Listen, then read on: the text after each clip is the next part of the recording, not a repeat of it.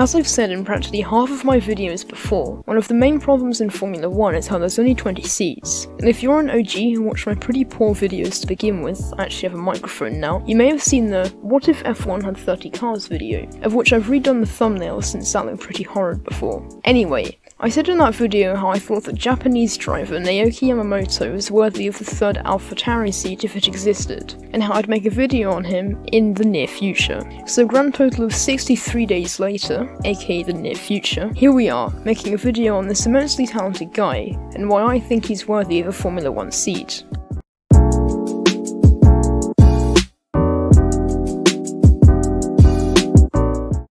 Naoki was born on the 11th of July 1988 in Utsunomiya, Japan, basically already eliminating him from ever competing in F1 since he's 32 years old, which based on Formula 1 terms means they may as well have gone and put my grandpa in that seat instead. Back on topic, he's a son of Sakon, Oh wait, just like Marino and Takuma Sato, it's just a huge coincidence how Naoki and Sakon Yamamoto are not related whatsoever, despite both being racing drivers. However, now I think about that, it wouldn't have made sense at all since Sakon is only 6 years older. I now see how off topic this video is getting. So Yamamoto, Oh come on now, no one knows who's being talked about. Naoki Yamamoto began his racing career in go-karts in 1994, aged around just 6. Although there isn't much record of his karting, I believe he was relatively successful, and started his car career in the same way as F1 driver and pro at being short Yuki Tsunoda did, moving up to the Suzuka Circuit Racing School in 2006, where Naoki graduated the same year,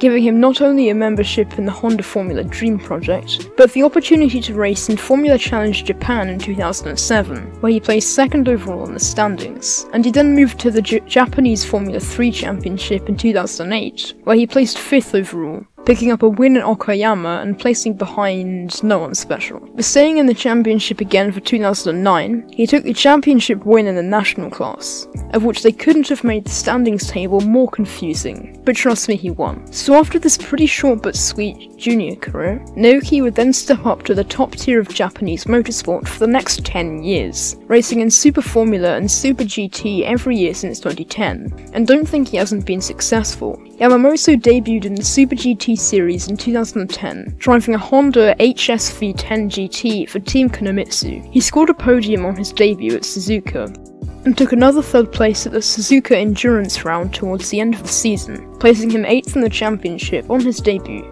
He then took second in the opening round at Okayama in 2011. However, the rest of the season wasn't quite as good, and he finished 9th with 40 points. In the following year of 2012, he then took two podiums to take 5th in the standings, the best Honda of that year. Then 2013 was the year he took his first win in Super GT, finishing P1 at Suzuka, putting him 4th in the standings, followed by 2014, which was also 4th in the standings, but driving in the new Honda NSX. 2015 was notable as he finished 3rd with a win and two podiums, but since you don't need to hear his results for literally every year, the next notable year was 2018, where he took a win and three podiums to take his first Super GT championship, which was then replicated again in 2020, making him one of the most successful Super GT drivers in history. Damn, I got through 10 years of racing in one paragraph. I'll also mention that in 2019 he was a teammate of Jenson Button, and although Jenson did beat him that year taking the title, Jenson said how Naoki was a really nice guy and he enjoyed working with him. But alongside all this, apart from sticking with Honda and still being a factory driver to this day, he raced in Super Formula as well, or as it was called until 2013, Formula Nippon, starting this campaign with Satoru Nakajima's team, Nakajima Racing, before having a long partnership with Team Mugen from 2000 2011 to 2018, before switching to Docomo Team Dandelion Racing in 2019 to the present. And if anything, Yamamoto was more successful here, even though it took him longer to get to grips with these immensely quick cars, faster than F2 and IndyCar, where in 2010, 11, and 12 he only had a best finish of 4th. I say that like it's a bad thing, but once he did get used to it, he was quick, and in 2013, out of the 7 races, he took 4 podiums and a win, becoming the Super Formula champion of that year.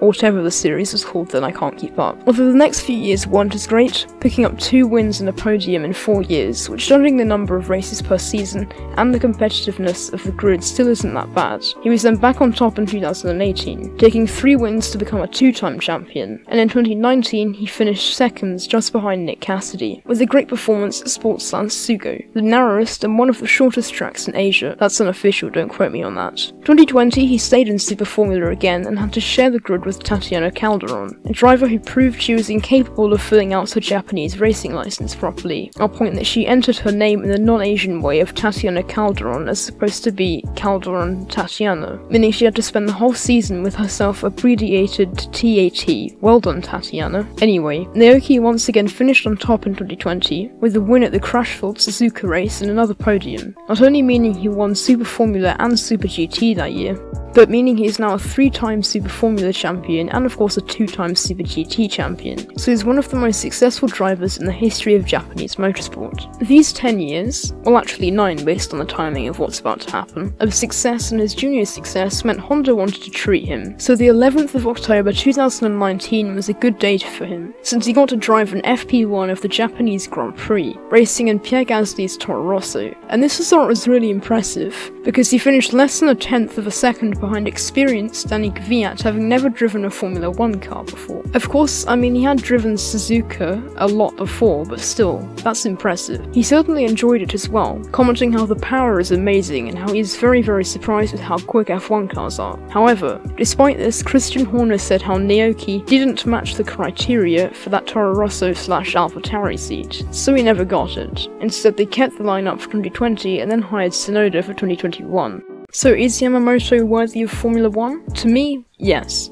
His success in Japan can't be looked over and his FP1 performance was amazing, but will he get an F1 seat? It's unlikely. There are not enough seats in F1 nowadays and he's too old to enter F1 now to be honest. As well as that, not only is there Alex Albon wanting his Honda F1 seat back, but up and coming stars in Formula 2 like Liam Lawson, Jüri Vips and Jehan Daruvala. So what do you think of Naoki Yamamoto? Comment down below. As always, be sure to like and subscribe as it would really help me to get 1000 subscribers. But with that, I'm Daniel, have a nice day.